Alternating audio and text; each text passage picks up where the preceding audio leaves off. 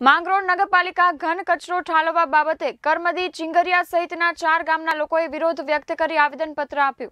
જેમાં માંગરોળ શહેરના ઘન કચરાના નિકાલ માટે નગરપાલિકા દ્વારા શહેરથી બાર કિલોમીટર દૂર કરમદી ચિંગરિયા ગામે સરકારી ગૌચર જમીન પર કચરો નગરપાલિકાના વાહન દ્વારા ઠાલવવા જતા ગ્રામ લોકો દ્વારા વિરોધમાં ઘન કચરો ન ઠાલવવા ચાર ગામોના સરપંચો, લોકો તેમજ મહિલાઓ સહિત મામલતદાર માંગરોળદારને આવેદનપત્ર આપી કચરો નહીં ઠાલવવા ઉગ્ર રજૂઆત કરાઈ હતી, જેમાં ચાર ગામના લોકો દ્વારા રજૂઆત કરી જણાવેલ કે આજુબાજુમાં આવેલ પાણીના તળાવ અને કુવાઓને પણ નુકસાન થાય તેમજ મરેલ પશુઓ સહિત ઘણી ખરાબ ગંદકીઓ ઠાલવવામાં આવશે, જે તાત્કાલિક ધોરણે બંધ કરવા ચાર ગામના સરપંચ સહિતના લોકો દ્વારા ઉગ્ર રજૂઆત કરવામાં આવી હતી.